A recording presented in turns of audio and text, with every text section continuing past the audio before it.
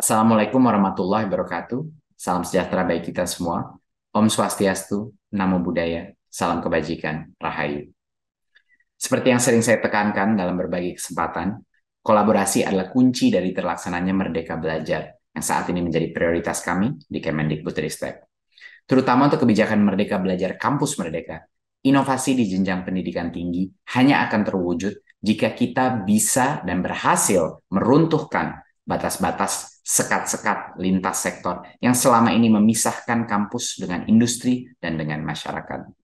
Memasuki tahun ketiga, kita sudah mulai melihat hasil yang membanggakan dari terobosan kampus Merdeka. Berkat kerjasama erat antara Kemendikbudristek dengan ratusan perusahaan dan organisasi mitra, sebanyak lebih dari 420 ribu mahasiswa dari seluruh Indonesia mendapat kesempatan untuk belajar di luar kampus, memperoleh pengalaman yang luar biasa yang tidak akan didapatkan di dalam kelas. Kabar gembira satunya lagi adalah bahwa sudah ada lebih banyak perguruan tinggi yang melaksanakan program Kampus Merdeka secara mandiri. Jadi ini bukan hanya menjadi kebijakan, tetapi sudah menjadi gerakan. Dari total jumlah 420 ribu tersebut, 5 ribu di antaranya adalah lulusan program Bangkit yang memiliki kompetensi teknologi yang sangat mumpuni. Bangkit merupakan program pengembangan kompetensi mahasiswa untuk berkarir di dunia teknologi yang terwujud berkat kerjasama Kemendikbudristek dengan Google. Saya juga mendengar sendiri testimoni dan para alumni program Bangkit yang sangat inspiratif, di mana kemampuan teknologi yang diperoleh dari mengikuti program Bangkit dimanfaatkan untuk melahirkan inovasi yang berdampak besar bagi masyarakat.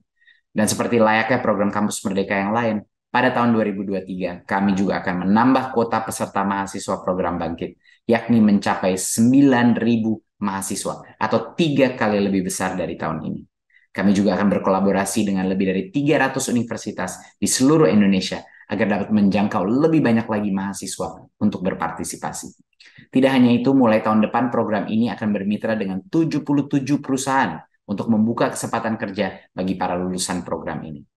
Dengan terus mengembangkan program ini, para peserta akan mendapatkan semakin banyak manfaat yang berguna sebagai bekal untuk karir di masa depan. Para peserta memiliki kesempatan mendapatkan sertifikasi global dari Google, kesempatan berkarir eksklusif di perusahaan teknologi global, dan dukungan untuk membangun startup-startup.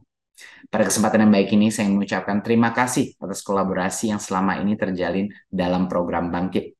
Ini menjadi program salah satu program yang terpopuler untuk mahasiswa-mahasiswa eh, dari Sabang sampai Merauke. Tentunya saya berharap gotong royong ini dapat menguat sehingga kita dapat melahirkan semakin banyak talenta digital yang mampu menjawab kebutuhan masyarakat Indonesia maupun dunia. Mari kita terus berkolaborasi, bergerak serentak, mewujudkan Merdeka Belajar, Kampus Merdeka. Terima kasih. Wassalamualaikum warahmatullahi wabarakatuh. Om Shanti Shanti Shanti Om. Namo Buddhaya.